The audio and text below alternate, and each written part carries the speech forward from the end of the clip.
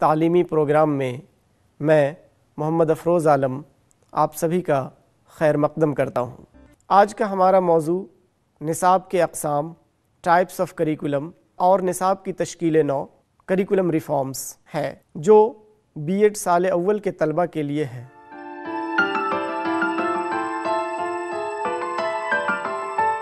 عزیز طلبہ و طالبات، پچھلے سبق میں آپ نصاب کے تصور کے بارے میں جانکاری حاصل کر چکے ہیں۔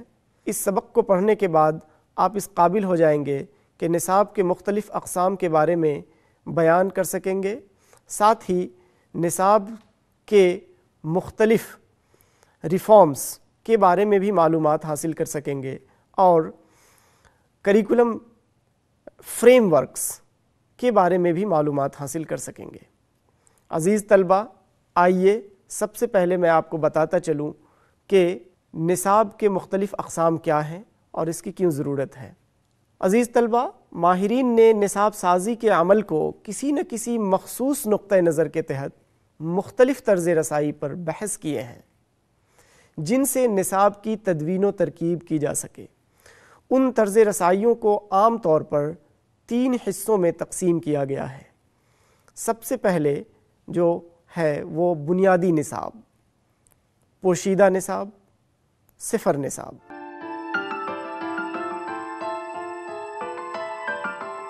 آئیے اب ہم ایک ایک کر کے ان نصاب کے اقسام کے بارے میں آپ کو معلومات فراہم کرتے ہیں۔ سب سے پہلا ہے بنیادی نصاب، جسے ہم انگلش میں کور کریکولم کے نام سے بھی جانتے ہیں۔ تعلیم و تربیت کے عمل میں بنیادی نصاب قلب کی حیثیت رکھتا ہے۔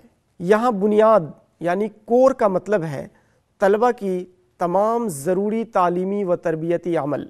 یہ نصاب طلبہ میں تکمل یعنی کہ انٹیگریشن، طلبہ کی ضروریات کو پورا کرنے والا اور سرگرم اقتصابی عمل اور زندگی سے مربوط کرنے والا ہوتا ہے۔ آئیے اس کے بارے میں مختلف ماہرین نے جو اظہار خیال کیا ہے، میں آپ کو بتاؤں۔ مشہور ماہر تعلیم البرٹی نے کہا ہے کہ بنیادی نصاب مختلف منطقی طور پر منظم مضامین کا مجموعہ ہے جو الگ الگ پڑھایا جاتا ہے۔ اس کے تحت ان معلومات اور اقتصابی تجربات کو شامل کیا جاتا ہے جو سبھی طلبہ کے لیے مفید اور ضروری سمجھا جاتا ہے۔ بنیادی نصاب کے متعلق ماہرین تعلیم نے مختلف نظریات پیش کیے ہیں۔ در حقیقت بنیادی نصاب کے بارے میں کسی دو ماہرین تعلیم میں اتفاق نہیں معلوم ہوتا ہے۔ عزیز طلبہ اسی ضمن میں مشہور ماہر نصاب ہلڈا تابا کا نظریہ بہت واضح اور متوازن معلوم پڑتا ہے۔ ہلڈا تابا کے مطابق بنیادی نصاب میں منظور مواد مضمون، زندگی، موجودہ وقت کے مسائل، طلبہ کی ضروریات اور درپیش تعلیمی مسائل سے متعلق ہونا چاہیے۔ اس کے ساتھ ہی اس کے تعلیمی عمل کو زندگی کے مسائل اور طلبہ کے رجحانات سے بھی جوڑنا چاہیے، جس کا ایک فطری نتیجہ مسئلے کا حل کا طریقہ یعنی پرابلم سولونگ میتھڈ بھی ہے۔ اب آئیے آپ کو میں دوسرے جو قسم ہے پوشیدہ نصاب یعنی کہ ہیڈن کریکولم اس کے بارے میں وضاحت کروں۔ موجودہ وقت میں طلبہ کے ذہنی نشو نما کے ساتھ ساتھ سماجی نشو نما و ثقافتی نشو نما پر کافی توجہ مرکوز کی جاتی ہے۔ روایتی نصابی خاکہ کے برعکس اس طرح کے سرگرمی جو کہ غیر تحریری شکل میں اسکول اور ادارے کی تہذیب و ثقافت کو ظاہر کرتی ہے، اسے پوشیدہ نصاب کہتے ہیں۔ عزیز طلبہ پوشیدہ نصاب غیر تحریری شکل میں ہوتا ہے۔ یہ کوئی تحریری یا لکھی ہوئی شکل میں موجود نہیں ہوتا۔ اسے ہم خفیہ نصاب یا غیر تحریری نصاب کے نام سے بھی موسوم کرتے ہیں۔ یہ اسکول کے ماحول، احساسات، اقدار، رویہ اور مختلف عادات کو بھی متاثر کرتے ہیں۔ پوشیدہ نصاب کو مختلف ماہرین نے اپنے طور پر بیان کیا ہے۔ ان تمام تعریفات کا تجزیہ کرنے سے جو ہمیں تعریف معلوم ہوتا ہے، اسے ہم یوں بیان کر سکتے ہیں، کسی بھی اسکول میں یا تعلیمی ادارے میں، طلبہ کے لیے اسکول یا ادارے کا ماحول، ادارے کا عمل، اسکول یا ادارے کا تمدن اور ثقافت، اساتذہ کا رویہ، برتاؤ اور اعتماد۔ ان کی تدریسی طریقہ کار، اساتذہ کی شخصیت وغیرہ کسی نہ کسی شکل میں طلبہ کو متاثر کرتی ہے۔ یہ سبھی افعال تحریری شکل میں نصاب میں موجود نہیں ہوتا۔ پھر بھی تدریسی و اقتصابی عمل میں اس کا مثبت یا منفی اثر ضرور ہوتا ہے۔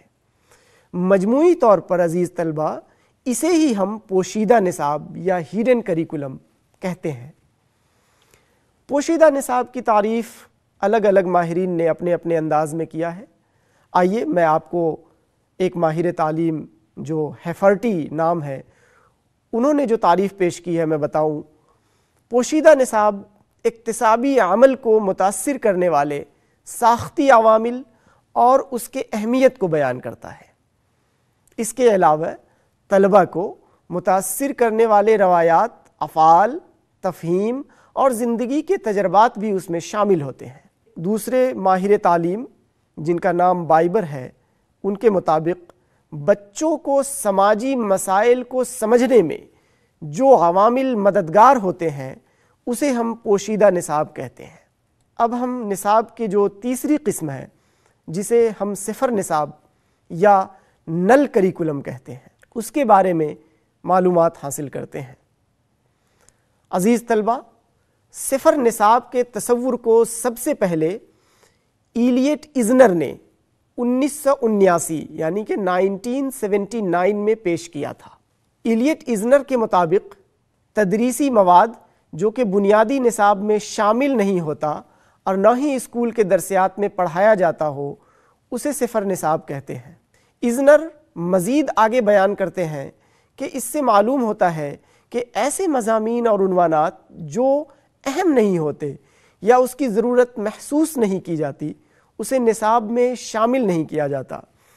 لیکن اس کی غیر موجودگی سے طلبہ کی شخصیت اور اقتصاب پر منفی اثر بھی ہو سکتے ہیں۔ مثلا، مذہبی تعلیم، دوسرے زبان اور ثقافت وغیرہ۔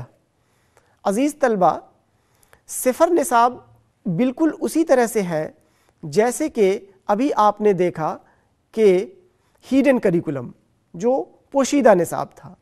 پوشیدہ نصاب بھی تحریری شکل میں تعلیمی ادارے یا کورس میں یا اسکول میں موجود نہیں ہوتا۔ اسی طرح سے صفر نصاب کا بھی معاملہ ہے۔ لیکن دونوں میں فرق یہ ہے کہ مضامین اور عنوانات جو اہم نہیں ہوتے، اسے ضرورت محسوس نہیں ہوتی، اسے نصاب میں شامل نہیں کیا جاتا۔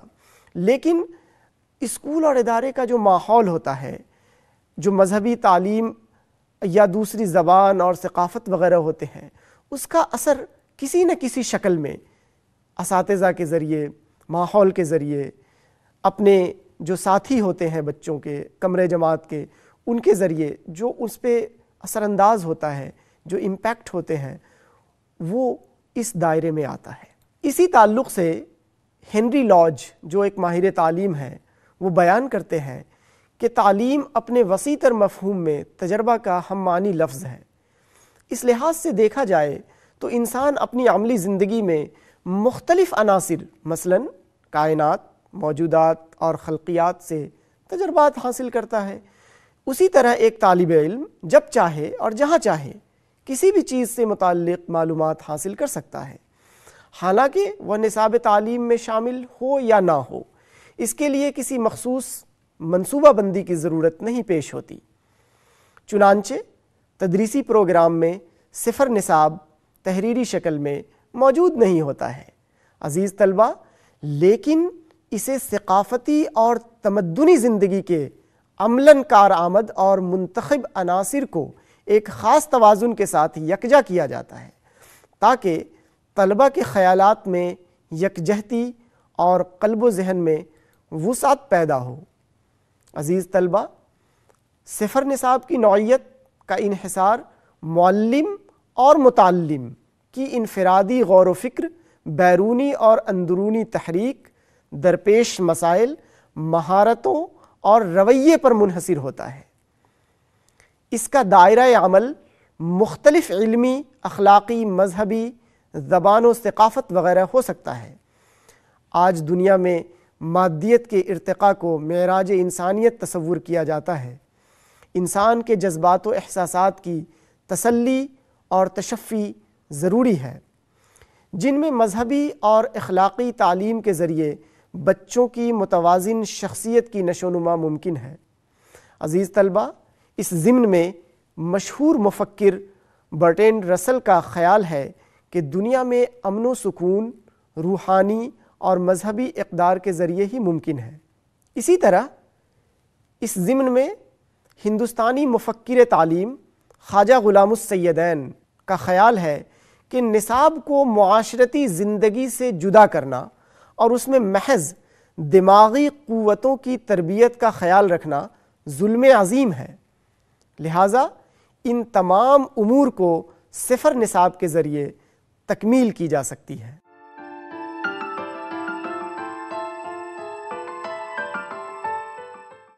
کریکولم کے ان تین اہم اقسام کے معلومات حاصل کرنے کے بعد، اب ہم ہندوستان میں درسیات یا نصاب کی تشکیل نو اور قومی درسیات کے خاکے کا جائزہ لیتے ہیں۔